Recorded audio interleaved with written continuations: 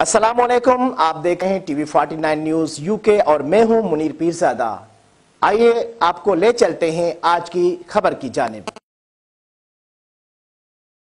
नाजिन, हालिया शदी बर्फबारी के बायस चित्राल के मुख्तलिफ़ वादियों की सड़कें हर किस्म की ट्रैफ़िक के लिए बंद हुई थी।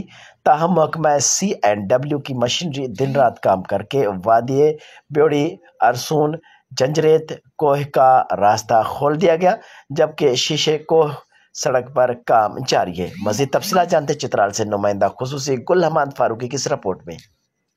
हालिया शदीद बर्फबारी की बायस वादी बम्बरेद रंबूर उरसून शीशकू, जंजरतकू ब्योड़ी और दीगर इलाकों के रास्ते हर कस्म ट्रैफ़िक के लिए बने हुए थे।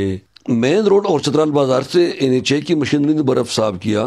जबकि इन वादियों से महकमा सी डब्ल्यू यानी कम्युनिकेशन एंड वर्क बर्फ़ साफ़ कर रही है। महकमा सी डब्ल्यू के एग्जीक्यूटिव इंजीनियर तारिक मुर्तजा और S D O Waqar Khan की हिदायत पर ठेकेदार हैदर अली ने बम्बुरित का रास्ता अनीश तक, रंबूर का सड़क बुंदक तक, जबकि शिशुकू का रास्ता पतिगाल तक खोल दिया। ताहम शीशकू सड़क पर मुसलसल बर्फानी और मिट्टी के तोदे और बड़े बड़े पत्थर गिरने से काम में काफ़ी रुकावट पैदा हो रही है। दिन रात मेहनत के बाद अब वादी उरसून जंजीरतकू और ब्यूड़ी का रास्ता हर कसम ट्रैफ़िक के लिए खोल दिया गया। मुकामी लोगों के मुताबिक वादी की लाश का सड़क एन के पास से मगरब से बर्फ़ से वाले साफ़ कर रहे हैं। उम्मीद है की बहुत जल्द शीशिकू का रास्ता भी मुकम्मल तौर पर हर कसम ट्रैफ़िक के लिए खोल दिया जाएगा, जिससे आवाम की मुश्किल में कमी आएगी।